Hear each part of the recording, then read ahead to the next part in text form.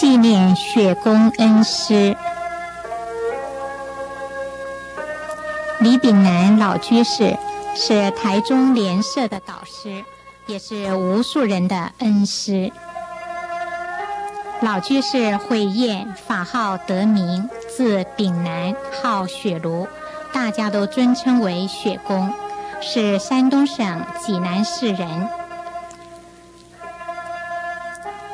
生于清光绪十六年，也就是民国前二十二年，西元一八九零年的腊月初七。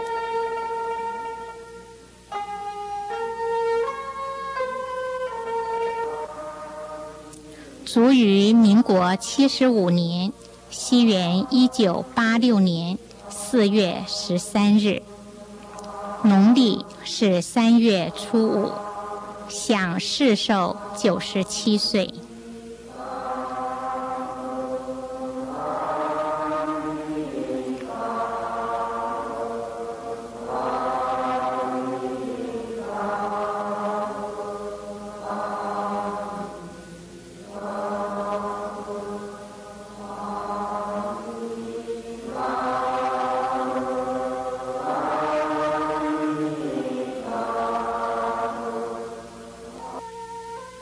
雪公自民国三十八年随孔凤寺官德成先生由大陆来台，至民国七十五年往生为止，整整三十八个年头，一直都住在台中市。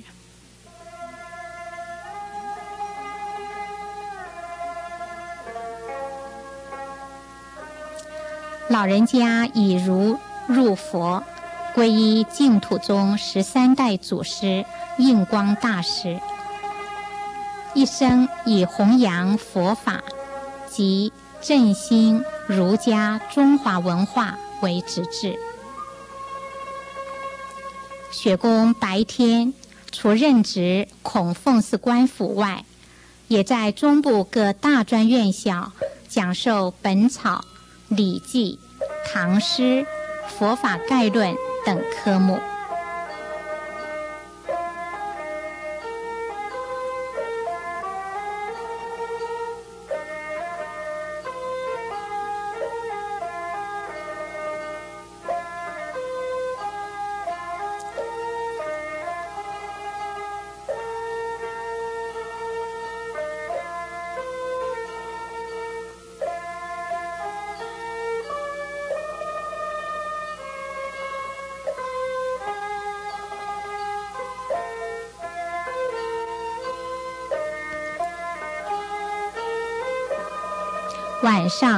则在台中联社、慈光图书馆等处讲解佛经、古文、历史和《论语》等课程。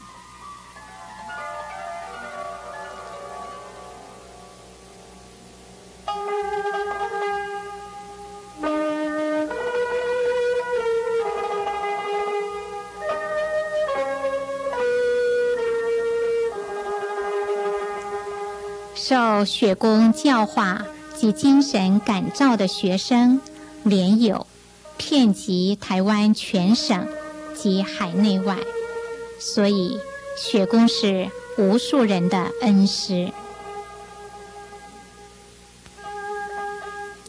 民国三十九年，雪宫与董正之、徐兆生、朱延煌、张松柏等数位居士。筹组台中市佛教联社。一年后，由许克虽、朱延煌两位大德发心出资，购得台中市绿川南梅绿提巷名社一栋为社址，也就是台中联社现址。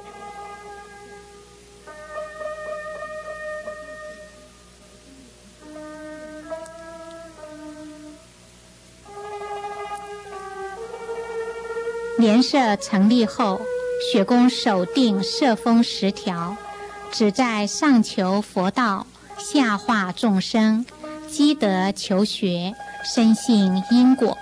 又定社务三大方针，一是讲演如佛经典，化导人心；二是集众念佛，各求当生成就；三是兴办文化慈善事业，以立道德而善风俗。在将近四十年的中间，台中联社就在这样的宗旨下推展社务。一批批的莲友，一年年的前来接受如佛的教化。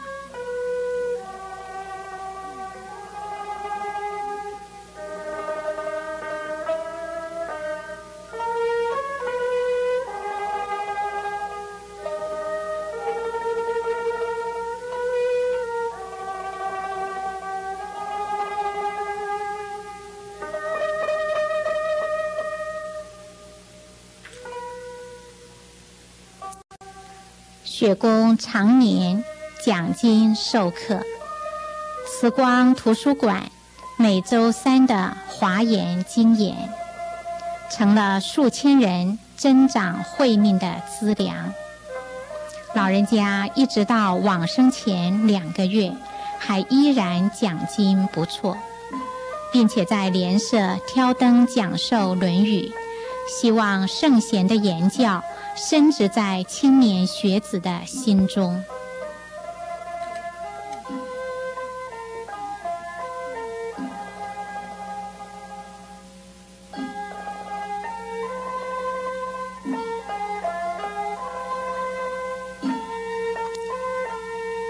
老人家常告诉学生们说：“我来台湾，比台湾人更爱台湾。”老人家爱惜的。不是台湾的阿里山或日月潭，而是台湾老百姓的明心。老人家教导青年学子要有人格，要有道义，要孝友治家，要行菩萨道，要精勤念佛，要了脱生死。因此，雪宫新办慈光图书馆、慈光育幼院。慈德幼稚园、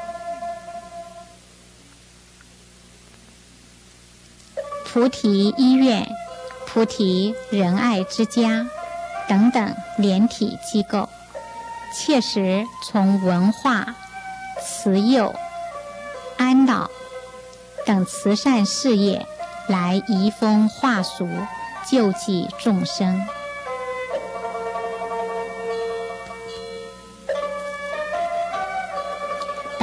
学佛不离世法，必须敦伦尽奋，处事不忘菩提，要在行解相应。雪公如是劝勉指引学生，自己更是依此而行。他老人家爱国、护教、悲悯众生的工作。一直在默默进行着，不求名闻利养，远离歌功颂德。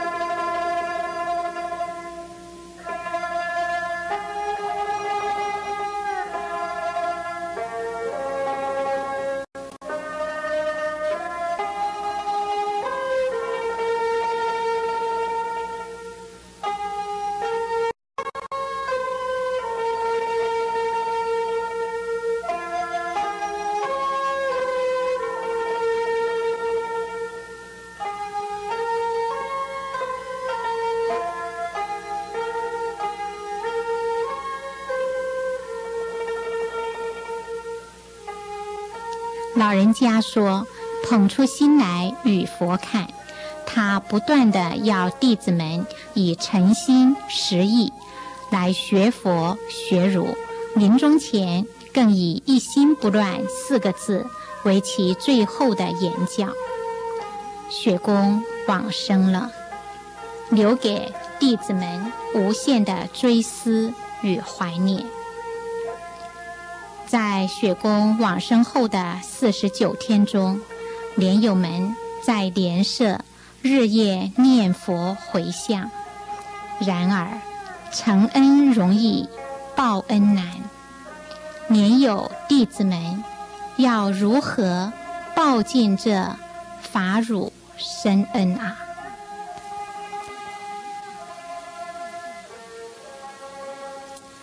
台中莲社。在民国八十年四月，雪公往生的五周年，特辟红道楼一楼为雪庐纪念堂，永久陈列雪公衣冠文物法像等。愿老人家的精神永远泽被后学晚生。现在。请听弟子们吟诵一首雪公的诗《残烛》，来缅怀老人家的精神与悲怨。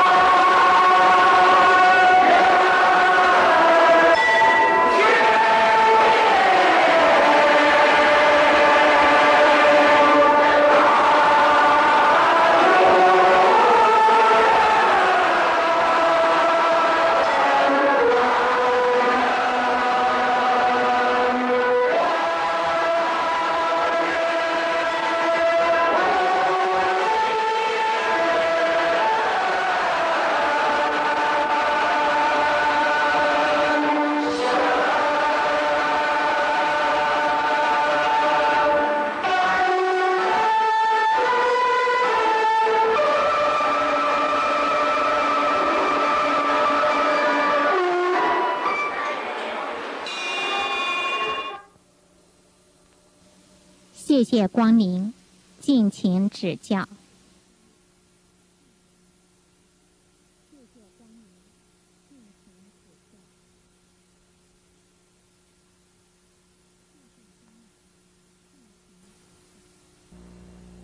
雪如倒影，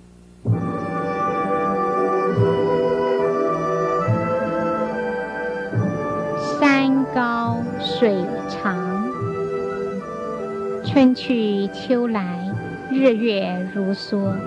开创台中莲社的雪庐老恩师往生至今已经有十年之久了。十年，在这不算短的日子里，大家都充满了感恩与怀念。不过，当我们每个人扪心自问，自己的道心增长了吗？做人尽分了吗？往生有把握了吗？的时候，是否内心会有一份愧疚？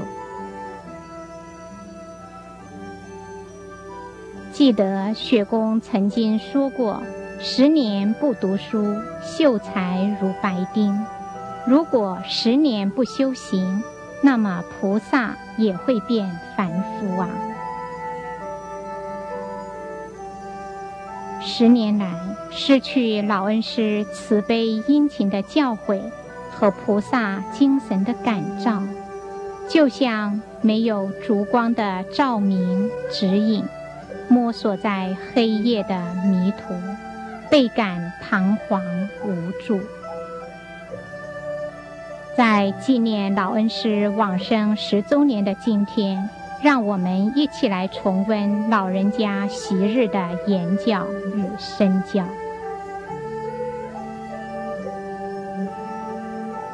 雪宫老恩师从民国二十五年在山东受菩萨戒后，到民国七十五年，这五十年来，老人家把全部身心都布施给众生，奉献给佛教。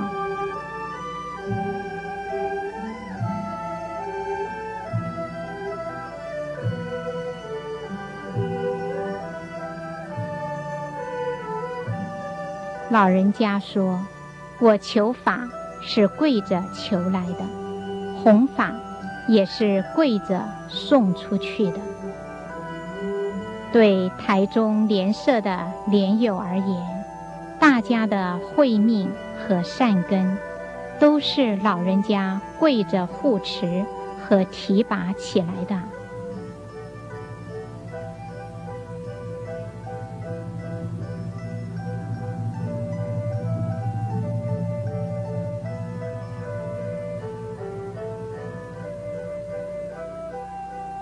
老莲友张庆柱师姑就常说：“汉人感觉老恩师服我的恩惠，比我十世父母更加亲，更加多。像这样浩瀚的施恩道泽，真是比山还高，比水还长啊！”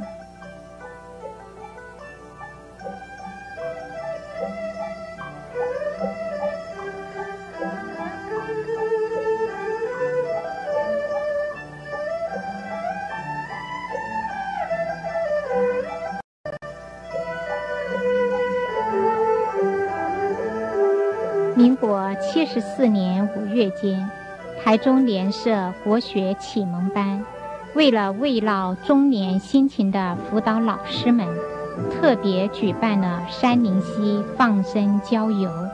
雪公当时虽然法体欠安，竟自慈悲地答应一同出游。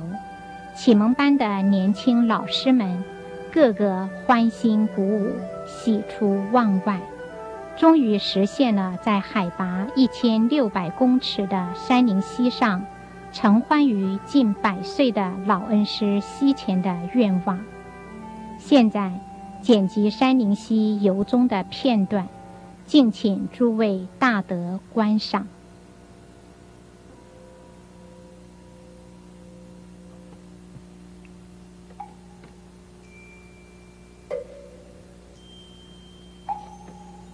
坡居士说：“清溪浅水行舟是赏心乐事之一。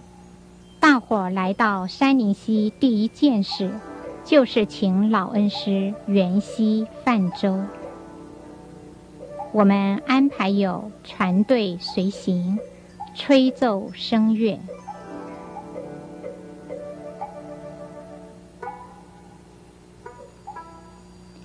岸上还有一群启蒙班的老师，手执麦克风，沿着清溪行吟，一时琴声诗韵，回荡在山巅水湄。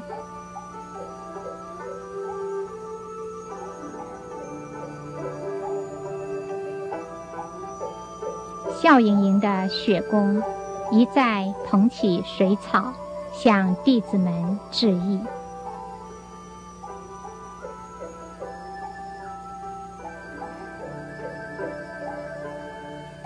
山林溪海拔高达一千六百公尺，山上空气清新，又有清澈的溪水和雄伟的瀑布，景色十分优美。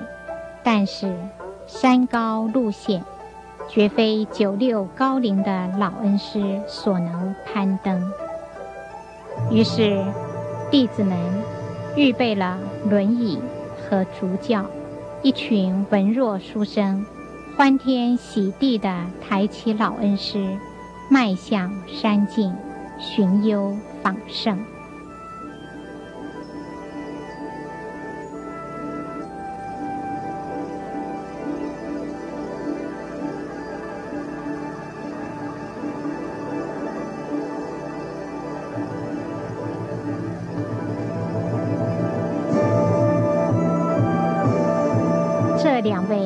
轻人，就是联社前任社长林之木和现任社长陈火炉。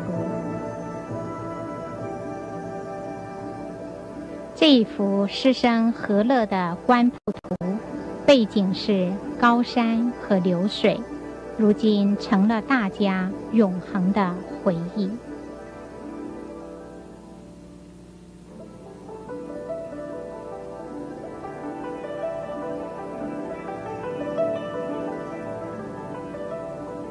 雪公经常提醒大家，为学有如逆水行舟，不进则退。更勉励年轻人说：求道、求学，永远没有毕业的。也一表示自己为学传道是至死而后已。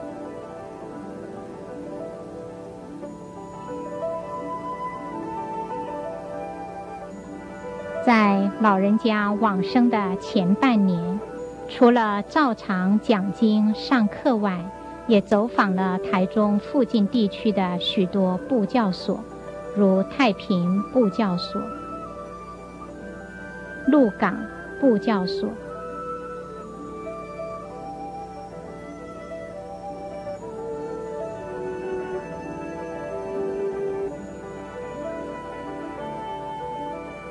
静夜精舍，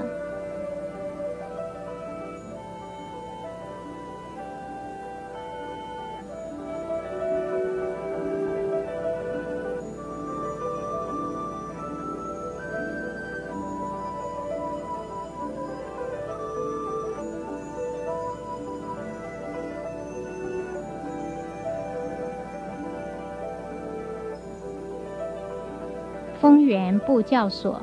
及东市布教所等，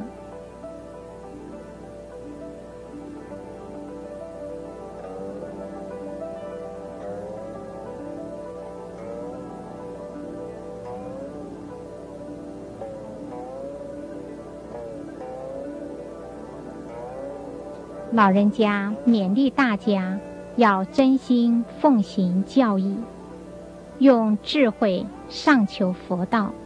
用慈悲下化众生，并且要尊奉三规五戒，即便是没有受戒，也要发心守戒。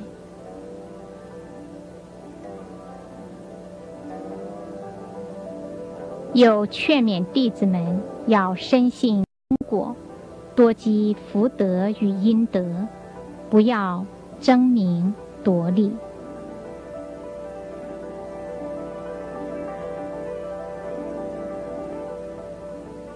社内同修，俱为一体，不宜分党分派，相互攻讦，更不得兼修外道，以邪乱正。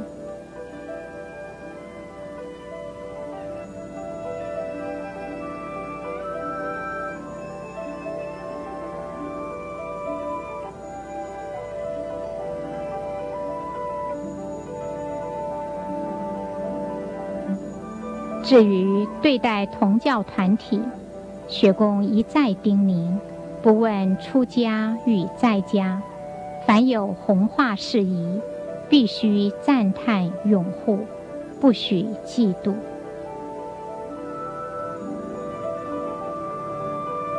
此外，老人家也常告诫同修们，除了探讨教义外，不可妄论是非。即使个人遭到毁谤，也要平心自省，有则改之，无则加勉，莫与人争。学公要大家常常觉知自己的道德学问都极为浅薄，不可心生骄慢。所有莲友要精进修持。积德求学，不惜心身二力，不失一切，为众生拔苦与乐。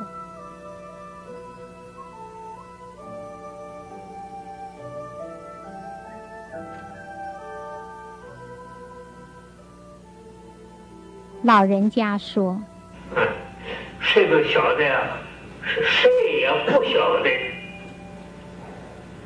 学佛干什么？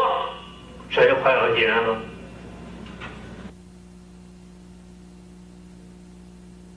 信这句话，学佛，你大家都得要成佛。要不能一成佛呀？”什么叫学佛呢？咱这里边教育界上人多，咱讲文字吧。学佛，那得照着佛的行为做啊。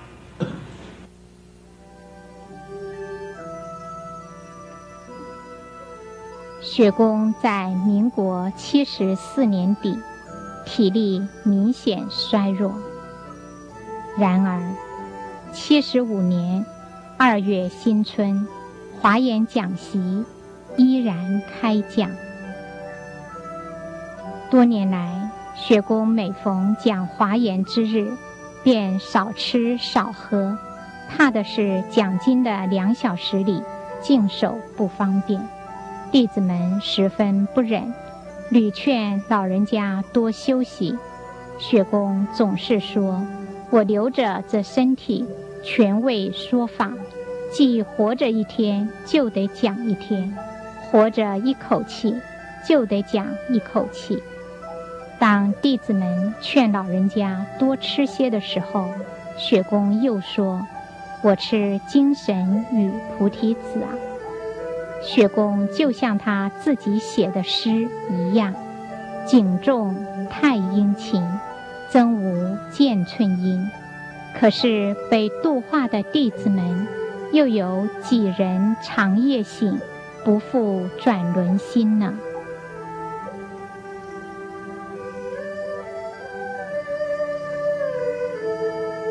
民国七十五年三月十二日，雪公最后一次讲经，体力十分衰弱。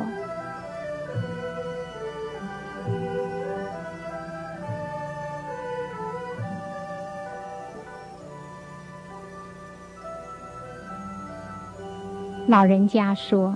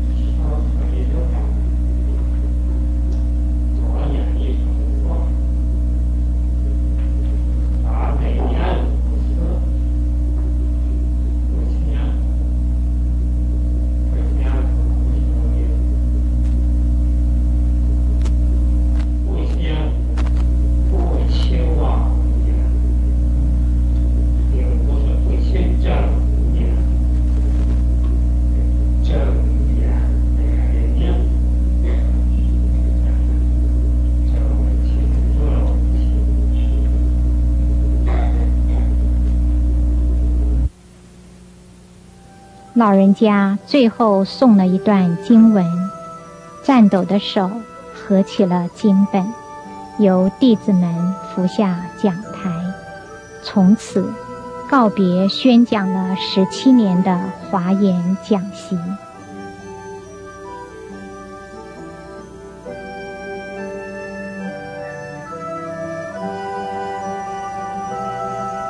民国七十五年。四月八日的佛诞节，老人家还参加游行，站在街口向莲友们致意。到了十三日的清晨，老人家交代了一句“一心不乱”后，便庄严地成就了他佛子的菩萨生涯。雪宫法缘尽了，娑婆尘缘也尽了。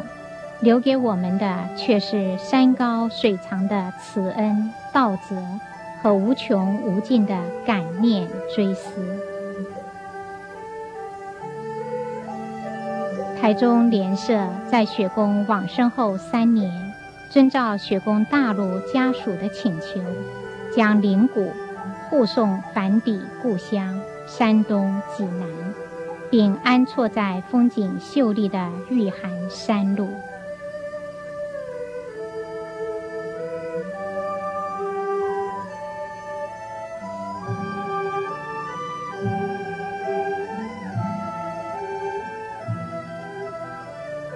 满了老师母及哲嗣李云熙先生数十年的心愿。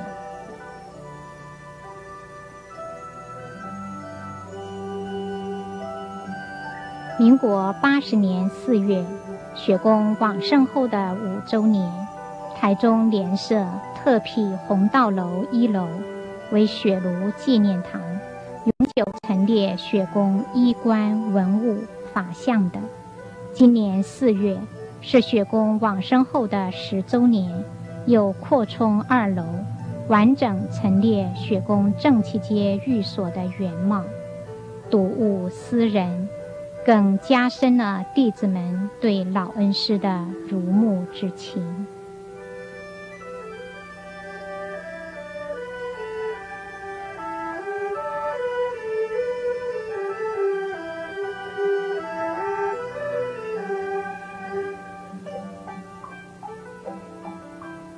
雪公虽然离开了我们，但精神却永远和我们长相左右。现今联社的社务，幸有周胜友老师和徐志明老师继续领导，一切都照常运作。每周三的华严经言，由周老师圣友接续主讲；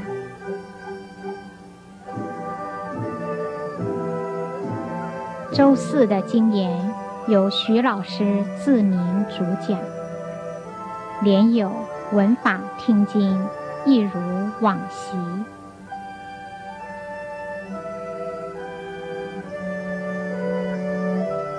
至于其他的弘法活动，如弘扬儒家文化、启发人性、奠定学佛基础的《论语》讲习班，依旧一期一期的由周、徐两位老师讲授，发挥社会教育功能的社教科，辅导莲友子弟的国学启蒙班。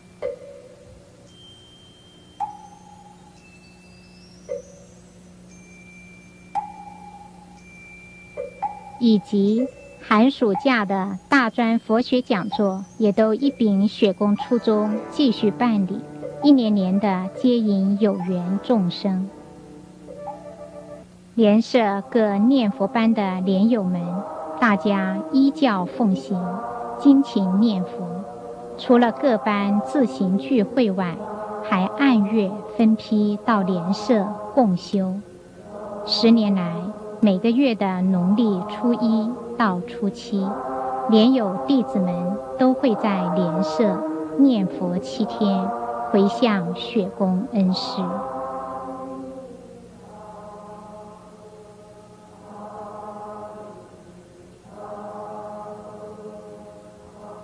莲社各莲体机构，像菩提仁爱之家。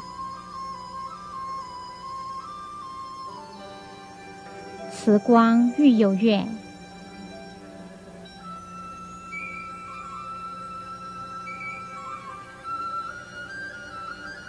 和般若精舍等的业务，也都正常的推展。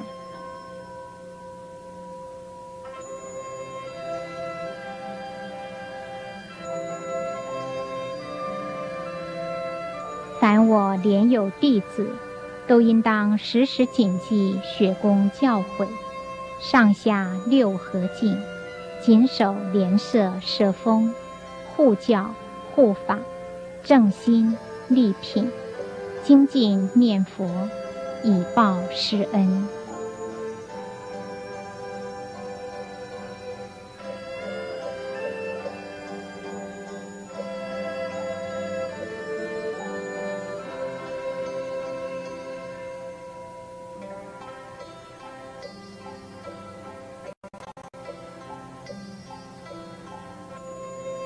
愿老人家的精神永远责备后学晚生。